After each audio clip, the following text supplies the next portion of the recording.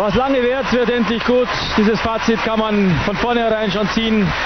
Marina Nissina und Gwendel Pesara haben sich kontinuierlich nach vorne geschoben, nach vorne getanzt und auch in die Herzen der Fans hinein. Waren zuletzt dritte, zweite und wer mag daran zweifeln, dass sie im Jahr 2000 Europameister werden. Das wäre der zweite Titel für Frankreich nach 1972, als in Genf Jean-Paul und Christina Guel für Frankreich Eistanz-Europameister wurden. Ja, die beiden haben sicherlich auch einen klitzekleinen taktischen Vorteil, dass sie im letzten Jahr so viele meinten, um äh, den Europameistertitel betrogen worden sind. Und ich denke, das ist noch in den Hinterköpfen von vielen Preisrichtern drin. Und schon allein deshalb, denke ich, werden sie hier Europameister werden. Nicht, dass ich die Leistung anzweifeln würde, Aber ich denke, es wäre auch durchaus möglich, gewesen, Italiener auf den ersten Platz zu setzen. Ich würde es vielleicht nicht unbedingt tun. Auch mir hat der, der Vortrag der Franzosen wirklich exzellent gefallen, aber man könnte darüber diskutieren, ob die Italiener nicht besser gewesen wären. Aber das ist ja schön so. Damit ist auch eines sehr, sehr deutlich und sehr klar geworden, liebe Zuschauer.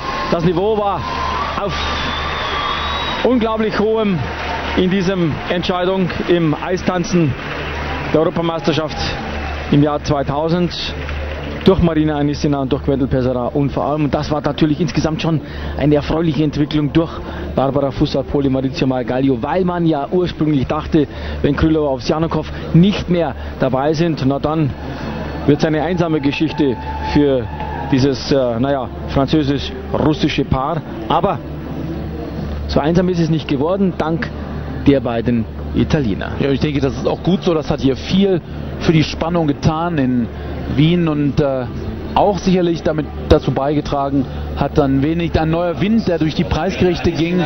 Es hat sich was verändert und äh, die festgefahrenen Rangfolgen sind ein wenig abgebröckelt.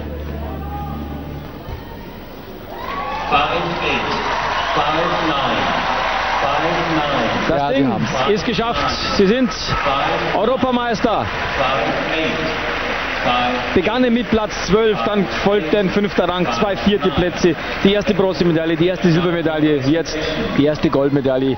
Die komplette Sammlung ist also bei beiden zu Hause gelandet.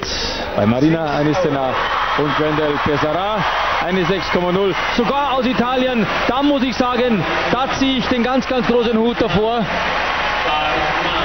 Ja, das, das ist wirklich eine tolle Leistung des Preisrichters, muss ich sagen.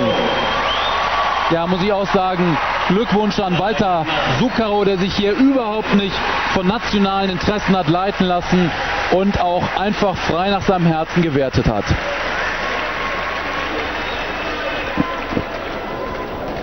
Es waren die ersten 6,0 bei diesen Europameisterschaften.